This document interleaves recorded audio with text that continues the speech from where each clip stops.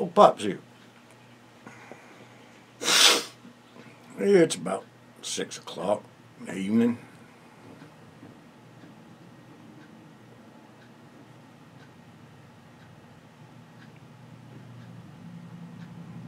Minnie me, Gracie, she's at work.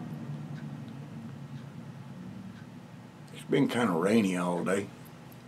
Boy, it got too, too bad.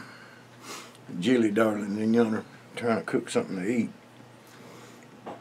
But anyway, before it got too bad, me and Jilly darling went and sat by the Greenway today. Went out and took us a little walk at the Greenway. I was telling y'all about that yesterday.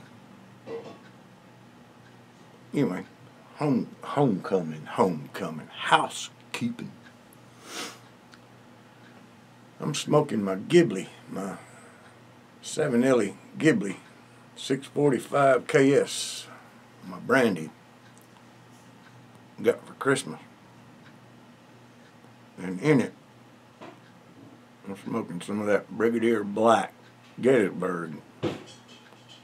Fine, fine, peach flavored blend that uh, good old James Long sent to me.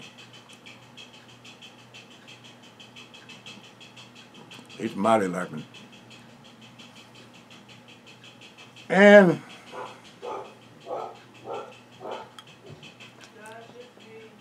an aperitif. I'm having me a little bit of uh,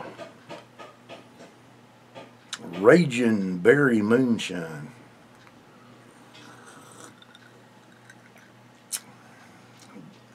Minnie Me brought it home from work last night.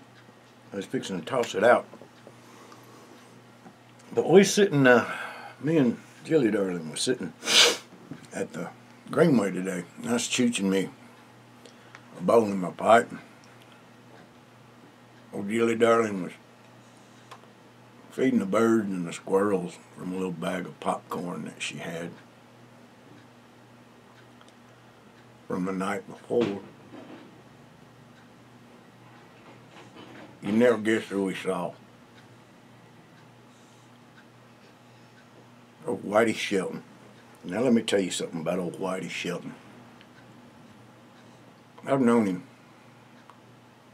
I would say all my life, but not yet, thank God. You know Whitey go way back. Kind of fella that if you'd never met in your life, it'd have been too soon. He's uh, crooked as, as eight miles of creek bank. Slicker than a leaky oil pan.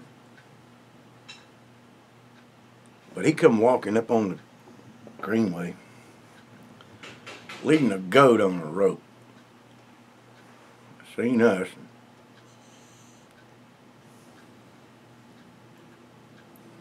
I tried everything I could.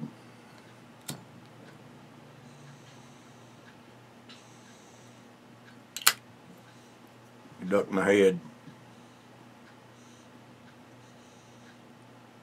But that goat stopped and started nibbling on some of that popcorn and he recognized Jill.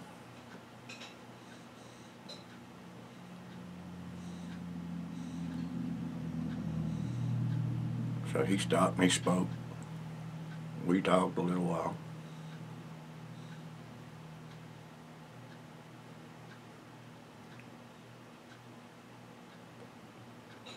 All of a sudden, he reached down and he put his thumb on that goat's butthole. Rubbed it, and he rubbed it right across his lips.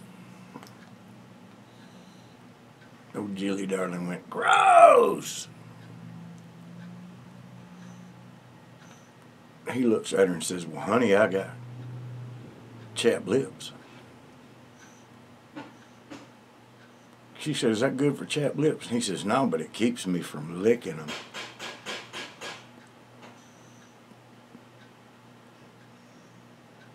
I tell you what, she said, I don't see how in this world Sara Lou ever married you.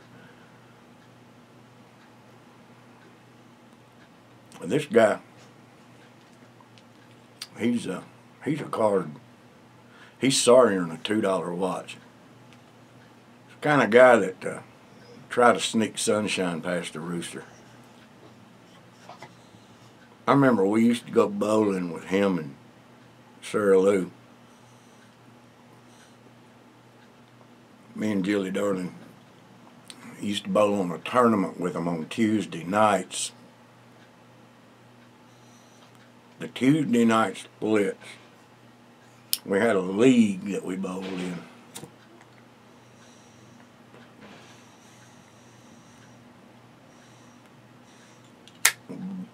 A Brunswick League.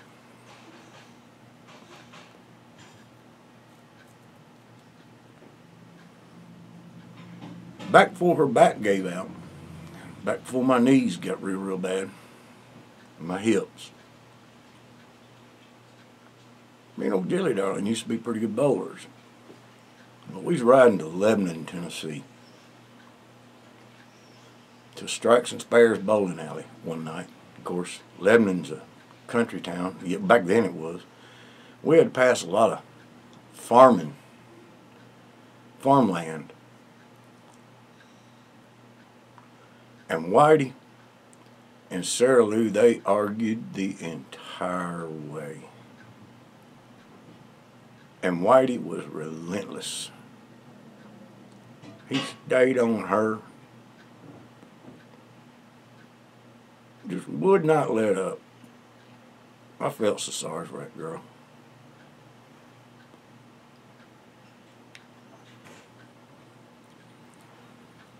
But they, we finally passed this little old farm. Looked over and there was a barnyard full of pigs and jackasses. Everything been quiet for about five minutes in the truck. They reached a lull in their argument. And I guess old Whitey Shelton couldn't resist himself. He looked over, saw that field full of pigs and jackasses. He glanced over and he looked over at Sara Lou and he said, relatives of yours without missing a beat. Sara Lou said, Yep. My in laws.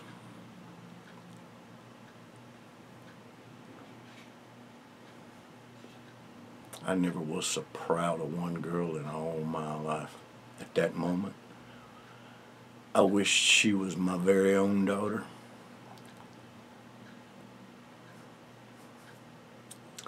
Anyway, it's about supper time. I'm sure old Jilly Darling about got it ready. Y'all have a good night. I'm old Pops.